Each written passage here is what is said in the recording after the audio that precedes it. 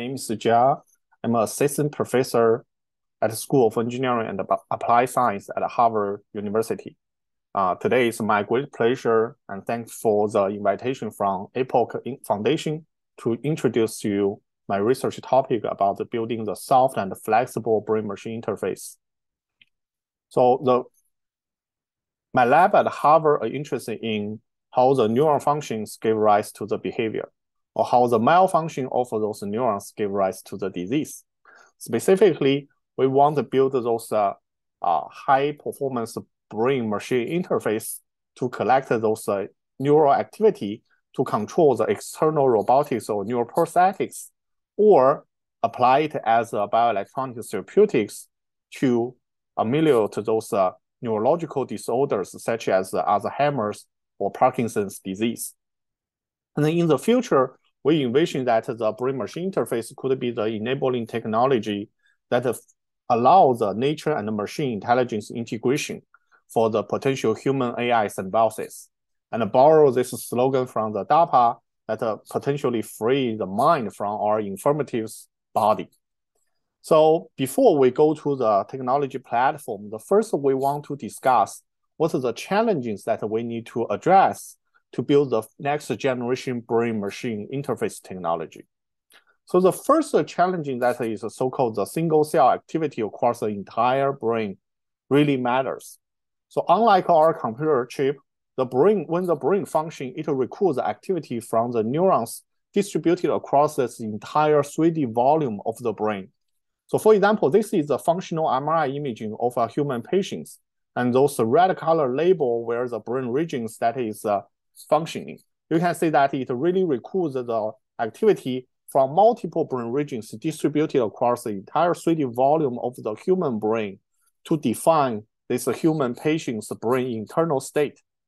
And this is another imaging, the calcium imaging of a zebrafish. Each individual dots, the red dots label a neuron that is under firing. You can see that it really recruits this fish, really need to recruit those neurons across its entire 3D volume of the brain to collectively define this fish's brain behavior state. So if we want to achieve this whole brain-wide single cell resolved activity mapping, then we will face the second challenging that is called the spatial temporal dilemma in neural engineering. For each individual neurons, the activity, action potential operate at a millisecond time scale confined into each confined into the individual neurons at the spatial scale from 10 to 100 micrometer. However, we know that the brain does not operate at a millisecond time scale. It usually takes days, months, or even years to build up the emotions, cognitions, and the memory. And it recruits millions to billions of the neurons at the spatial scale from centimeter to even meters and consider those large number of neurons in the brain, we need to provide the bandwidth at least 500 gigabytes to the 2000 terabytes per second to interface with them. Then there's a huge gap between what we can achieve right now to what we want to achieve in the future. But why we think there's an opportunity for us to address those questions at this moment? Because on, on one hand, driven by the Moore's law, the number of the transistor on one integrated circuit has already been raised to the number that is equally to or even higher than the number of neurons in a human brain. On the other hand, driven by this progress in nanotechnology, we now can miniaturize the electrical detectors and the stimulators down to the subcellular size long-term stably interfacing with each individual neurons in the in vitro culture system. So if we put these two systems here together, on the left, that is the human brain with billions of the neurons. On the right, that is our powerful computer chip, billions of the transistors. What we are missing right now is a cable, a scalable interfacing technology to bridge the electrochemical impulses in the each individual neurons to our powerful hardware to decode them. So what those technology looks like, should be look like? The X and the Y, that is the temporal and the spatial scale. And this two dashed line label the resolution of this technology that is a single cell and a single spike spatial temporal resolution.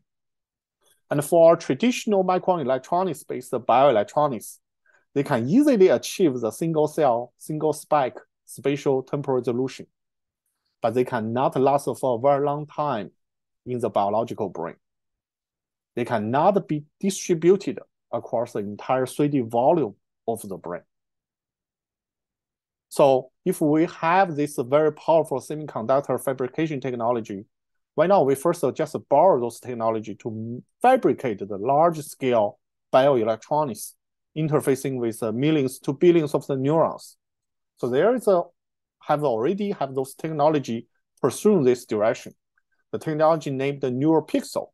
It is a CMOS-driven the multiplexed electrode array fabricated by those uh, semiconductor fabrication uh, pipelines. We can integrate thousands of the electrode onto one brain probe and collect thousands of the neural activity from the biological brain. However, the signal not very stable. Over a couple of weeks or months, you will lose the activity that you can collect from those neurons. So in the first part of my talk, I want to discuss you, with you about the tissue-like electronics that we are developing, providing this long-term stable brain-machine interface at the single cell level. So first, uh, we need to understand what is the limitation, what is the limiting factor prevent us from long-term stably record the neural activity from the brain. So it's actually coming from this size and mechanical mismatch between the brain and the electronics. If you have a chance to see a biological brain, it is very soft, like a tofu or pudding.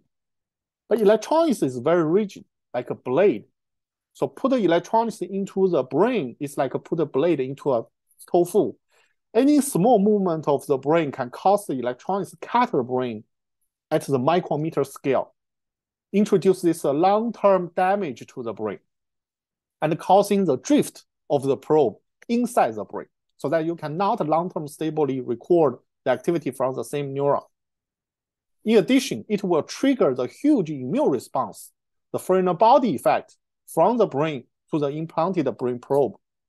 So that over the time, there's a significant degradation of the neurons and the proliferation of immune cells at the brain-machine interface. So that you will lose those, those individual neurons action potential that you can record it in the very beginning. And for the patients with a deep brain stimulator implanted, every couple of months or of a year, you need to relocate the stimulator location to find the healthy neuron for the stimulation. So in the first part of uh, my research, that we are thinking that can we design the electronics that eliminate the immune response and the neural death from the implantation to provide this long-term stable electrical interface at a single cell level to the neurons. Then we look at the history is there any material system that a human have been ever developed that can bypass this immune response and the mechanical and the size mismatch with the biological system? Actually, we do have this material system. It named the synthetic tissue scaffold, which is a three-dimensional microporous soft biomaterial. It can allow the cell grow into them and once they transplant back to the human body, it will not trigger this uh, chronic immune response in the biological system. So we are trying to build those electronics to mimic their structure. Also have this 3D microporous structure, subcellular feature size, tissue level mechanical property. And most importantly is that this uh, device also need to be compatible with the state-of-the-art lithographic fabrication technology used in the semiconductor industry so that we still maintain the scalability, leveraging the potentials in the semiconductor fabrication industry to integrate thousands to millions of the sensors together into those electronics network to interface with the brain. But actually, in the very beginning, we cannot even build the electronics to fully mimic the soft mechanical property of the brain. Because for all those electronics material used for the nanofabrication, it have the intrinsic Young's modulus at least six orders magnitude higher than the Young's modulus of the biological tissue. And for the materials which have this tissue level softness, they are not compatible with the lithographic fabrication.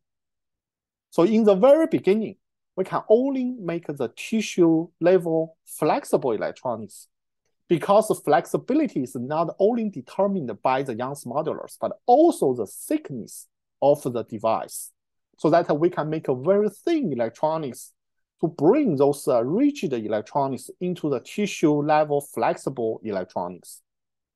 We can even further design the device to make sure that the bending energy of the electronics is the same as the bending energy of the cell. So that if there's a displacement happen between the electronics and the cell, the cell will not feel the pressure directly from the device. So if we put those things into the consideration, the thickness of the device need to be less than one micrometer, which is already approaching to the limitations of those devices. Because for any electronics, you need to have the enough thick dielectric material, the encapsulation layers, to prevent the current leak from the device to the biological system. Therefore, in the very beginning, we build this like a sub-micrometer thick electronics by simply sandwich a metal layer with a two layer of the plastic dielectric material. And you see that we measure the mechanical property of the device features by using the atomic force microscopy, and it shows that it indeed have the cell level mechanical property. So we build those uh, mesh, this extremely flexible mesh like nanoelectronics that can be directly injected into the brain for the long-term stable interface. And over the year, we have been substantially improving this uh, process. Right now, we can integrate this uh, tissue level flexible mesh like nanoelectronics with a polymer micro needle. In between, there's a water soluble layer so that we can use the micro needle inject those mesh electronics into the brain after the water soluble layer has been dissolved, withdraw the microneedle to deliver an unfolded mesh electronics into the brain tissue. So this is the brain tissue after several weeks of the implantation of the mesh electronics, which is labeled by the red color.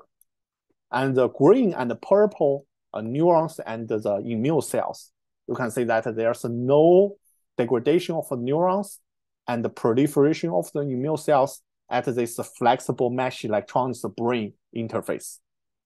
We keep test this kind of uh, immunoresponse-free implantation up to one year, and showing that indeed there's no degradation of the neurons and proliferation of uh, immune cells at the electronic brain interface over one year implantation and we can collect the electrical signal from multiple brain regions simultaneously.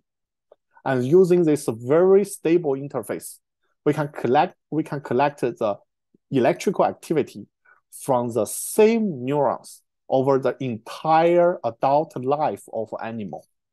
For example, in this like a 14 months continuous recording, you can see that the action potential, those each individual spikes that are collected from the neurons has not been changed at all. So that we are not just provide the stable recording, but the stable recording from the same neuron. And we also do so many statistic tests to make sure that the signal hasn't been changed and continuously recorded from the same neuron.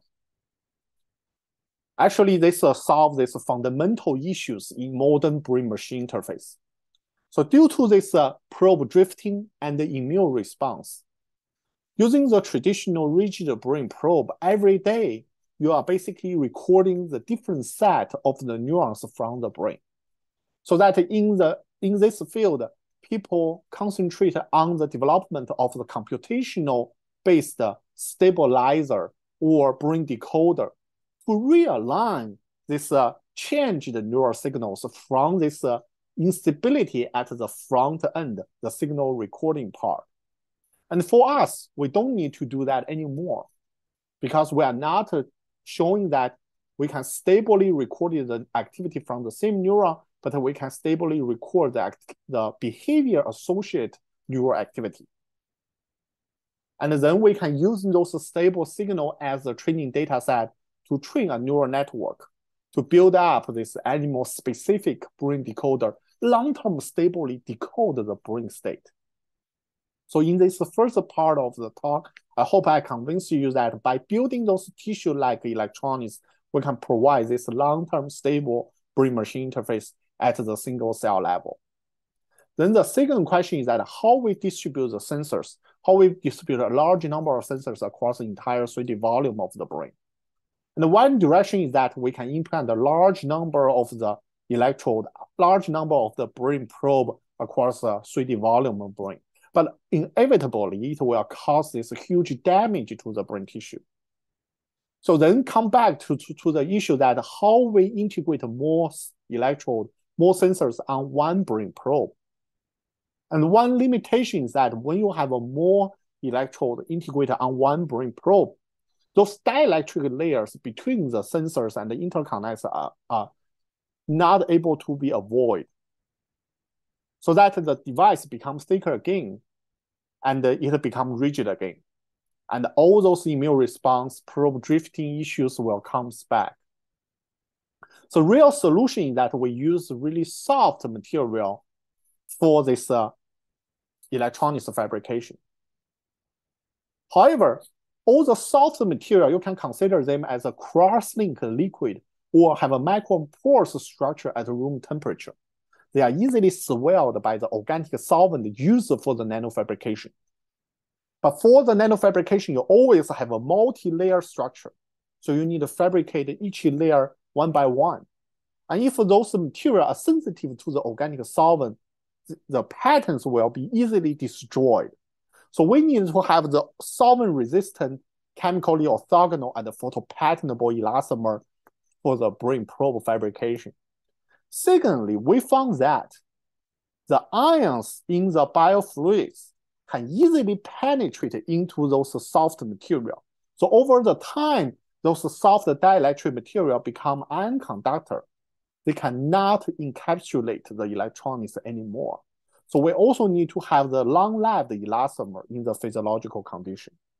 So by considering this together, we develop the material that is as stable, the soft material that is as stable as those rigid materials, but as soft as the brain tissue itself.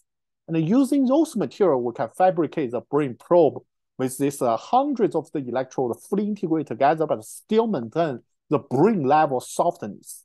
We can implant into the brain, long-term stably track the activity from the same neuron without introduce significant damage, mechanical damage, and immune response in the brain. And right now, we incorporate the company to fully leverage the potential of this technology because this technology can only show its advantage when there's like a thousands to millions of the sensors fully integrated together. We are working with the semiconductor industry companies to also design the multiplexing circuits to boost the number of the sensors that we can integrate into one brain probe and pursue the clinical trial.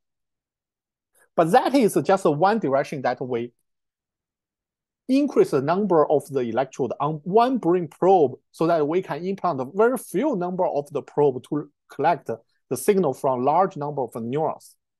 However, when the brain get mature, the neuron has been in has been innervated at the nanometer scale, so that no matter how small and how soft you design the probe, as long as you need to implant them into a mature brain, it will cause the inevitable mechanical damage to this uh, matured neural network.